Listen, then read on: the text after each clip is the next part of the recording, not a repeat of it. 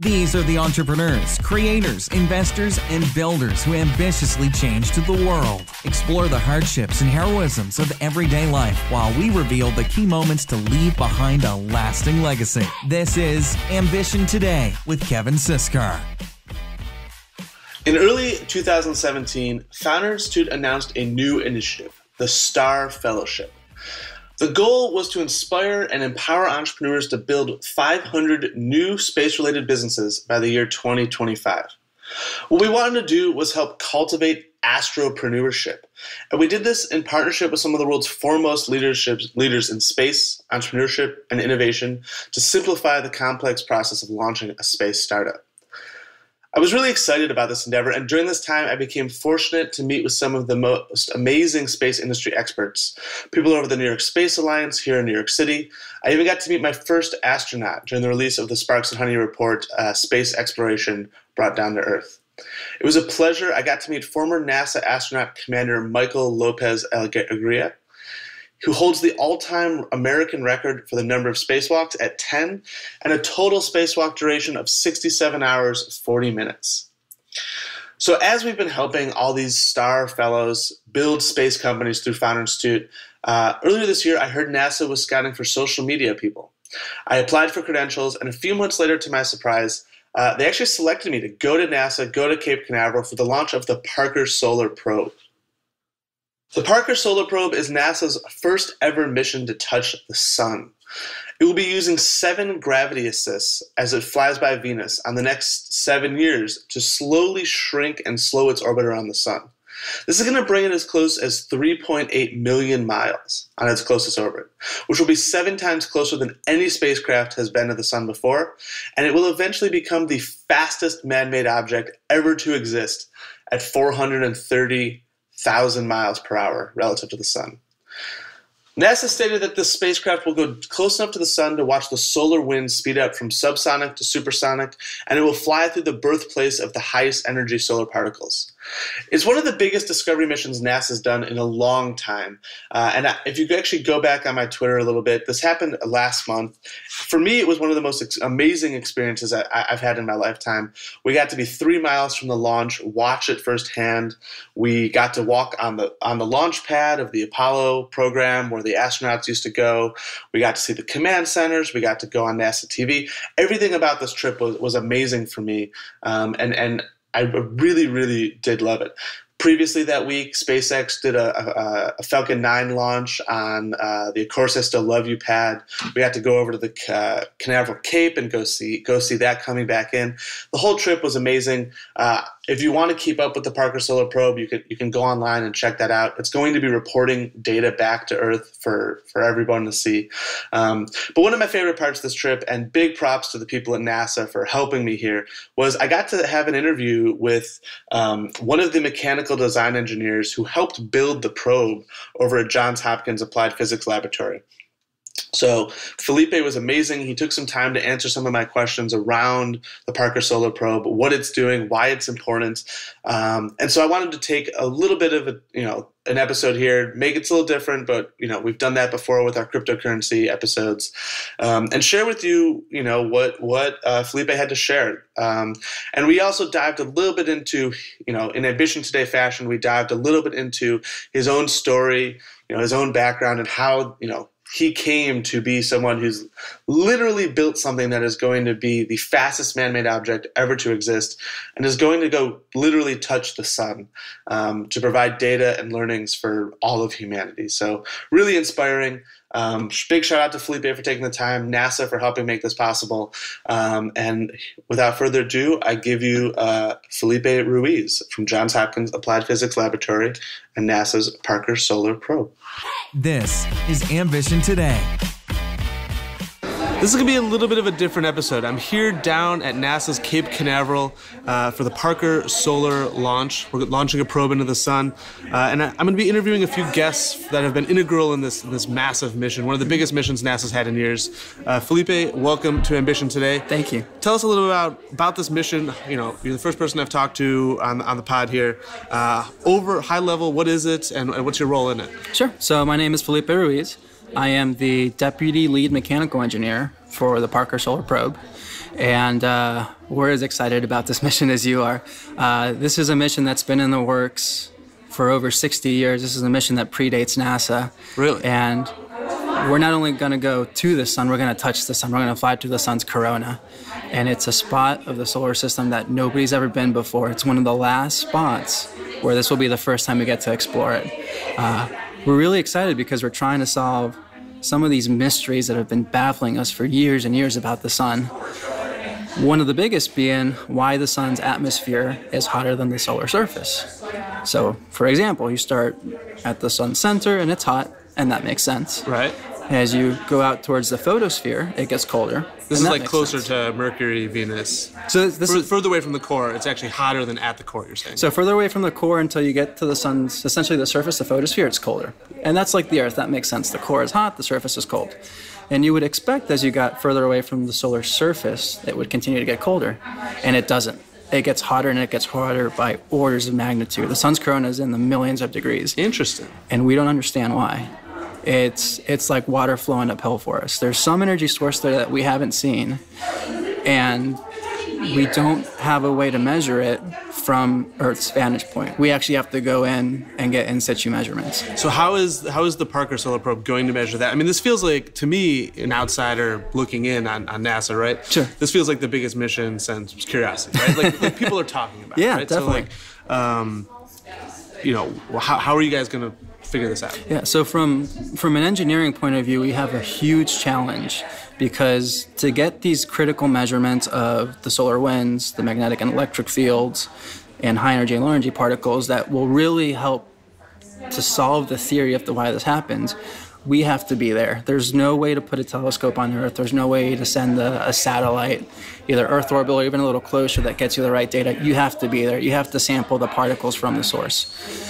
It's from an engineering point of view, an incredible challenge because yeah. it's an extreme environment. Yeah, I mean, how does this thing not just go to like you know disintegrate uh, the moment yeah. it gets anywhere even and, close? And so that's been our big problem, and that's the reason it's taken us 60 years to build this mission. We haven't had materials that can stand up to that heat and are light enough to launch on rockets that we have today. The big breakthrough for us was our thermal protection system. Okay. And when you look at the spacecraft, the top of the spacecraft is this big circular heat shield. It's made out of a carbon carbon composite face sheet with carbon foam in the middle, and it's all carbon. There's nothing else there's to it. Uh, on top, we have a white coating which helps reflect some of the heat. Nice. And that's really our only protection from the sun, and it's only about three and a half inches thick. The way we fly the mission is when we're near the sun, we point that shield at it and the rest of the spacecraft hides in the shade. We have a couple brave instruments that are that are out there in the full solar blast, but by hiding most of the spacecraft in the shade, it allows us to run everything else kind of around room temperature. Yeah, I, re- I heard that line. It's like room temperature. Yeah. It seems insane. Yeah, and, and so the temperatures are at the top of the shield, we see 2,500 degrees Fahrenheit. Um, when you go through the three and a half inches of the shield to the bottom of the shield, we're at around 600.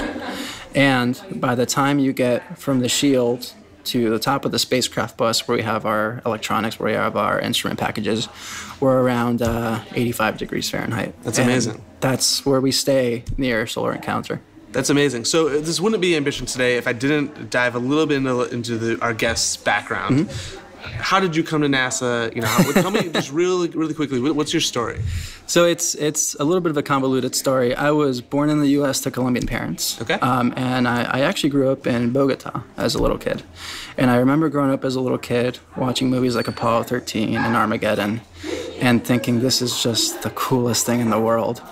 But coming from Colombia, it was never real to me in the sense that it was actually something you could do. Yeah. It was always, uh, this is I'm a little kid and I want to be Superman or Spider Man. Um, in middle school, my family moved to Houston, and I went to Johnson Space Center for the first time.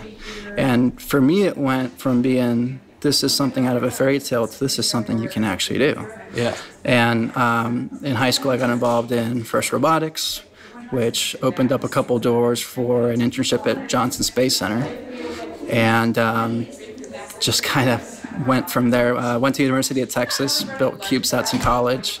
Uh, was able to do a couple more internships at Johnson working in their robotics division and at JPL working the OCO2 mission. Nice. And um, APL came knocking my senior Yeah. year and said, hey, we've got an opening for you. Come do mechanical engineering on Parker Solar Probe. And uh, you don't say no to an offer like that. Yeah, it's amazing, man. Well, congrats on the journey.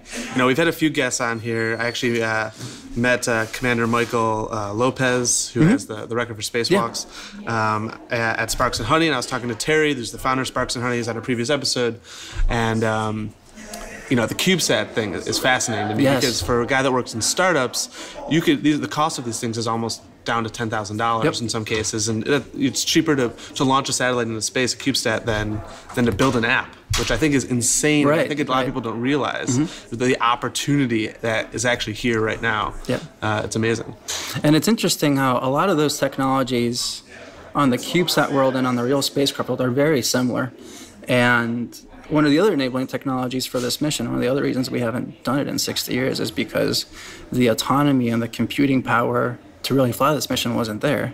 And you're seeing now CubeSats that are as smart as satellites from 10 years ago. Yeah. And this spacecraft only had that processing power because it's almost entirely autonomous. In fact, the, the sun is a big radio interference source. So when we fly our close approaches, we lose contact with the spacecraft because we simply don't have the power in our antennas to, to boost over that interference.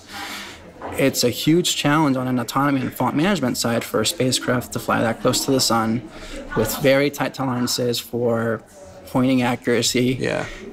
and be able to recover from a fault, be able to correct itself, be able to not put itself in a position where you're going to damage flight hardware. Yeah, I mean that's interesting because I just heard in the other room that you know Voyager, almost 50 years later, still Yep. sending signals back, right? But you know, not as close to the sun, less interference. Right. So really interesting.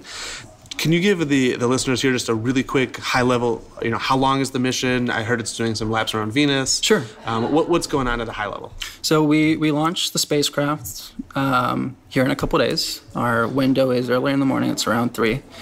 And we actually launched towards Venus. Um, getting to the sun is difficult because if you picture the solar system and the Earth going around the sun, the Earth has quite a bit of velocity around the sun. And to get close to the sun, you actually need to lose that velocity to bring your orbit in closer. So when we launch, we're actually launching against Earth's velocity. And it's the reason we have such a big rocket because we're actually trying to speed down from Earth. Yeah, it's the second biggest rocket on the planet, right? It is the second biggest. Yeah, it's the Delta IV Heavy, Yeah. and it's going to be a spectacular launch, especially a night launch. Um, we fly towards Venus and we do a gravity assist, and it's not a gravity assist in the way that spacecraft go into the outer planets do a gravity assist, where they increase their speed. We actually decrease our speed. Okay. And again, the decrease in speed there helps us get closer to the sun. Um, our first close approach happens approximately three months after launch, and the entire mission is a seven year mission. So we do have a highly elliptical orbit. We swing by the sun numerous times. We swing by Venus seven times. And every time we swing by Venus, we swing in the orbit closer and closer until the last three orbits of the notional lifetime, where we get to that closest approach to the sun. The, uh, the 9.86 solar radii is a number that we use. And to, to put that in context, if you were to put the Earth on one side of a football field and the sun on the other, at that point in the mission, we're inside the four yard line. Nice. Awesome. Well, hey, this has been amazing. Um, looking forward to connecting with a few other of your colleagues here. Um, but thank you for taking a few minutes and uh, kind of giving an overview and sharing your story. Thanks. It's been a pleasure. Appreciate it. Visit Ambition Today online at Siskar.co and follow the show on social media at Ambition Today. 10, 9, 8, 7, 6, 5, 4, 3, 2, 1, 0. Liftoff of the mighty Delta IV Heavy rocket with NASA's Parker Solar Probe. Oh my Preparing to This is happening. oh